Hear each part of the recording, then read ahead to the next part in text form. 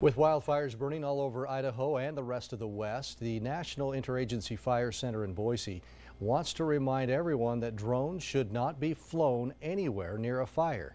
ABC's Steve Dent reports these small aircraft can have a big impact on the safety of aerial fire suppression.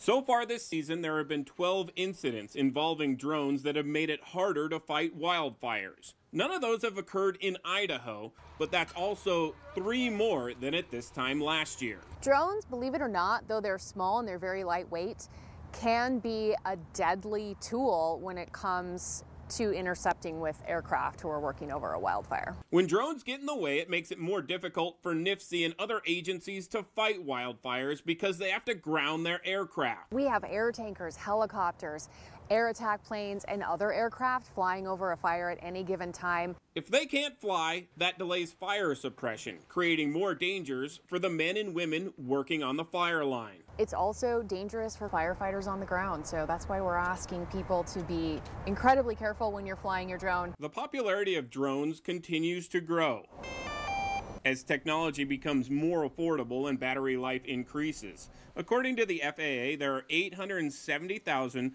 registered drones in the U.S., and being a new pilot can be challenging, figuring out all the rules and regulations.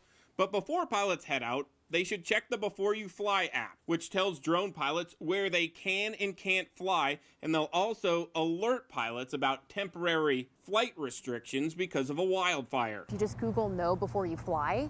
They have an app and a really good website that is all about where to fly your drone. For me personally, as a new pilot, I don't want to be the reason that new regulations get put into place. Remember the guy who flew his drone into the Grand Prismatic Spring in Yellowstone in 2014? Now drones are illegal to fly in all national parks. And I also don't want to be responsible for hindering wildfire operations. And now we're at preparedness level five. So that means we're seeing a lot of large wildfire activity across the landscape.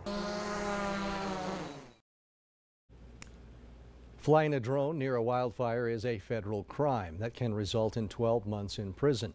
And Congress has authorized the FAA can impose a civil penalty of up to $20,000 as a fine.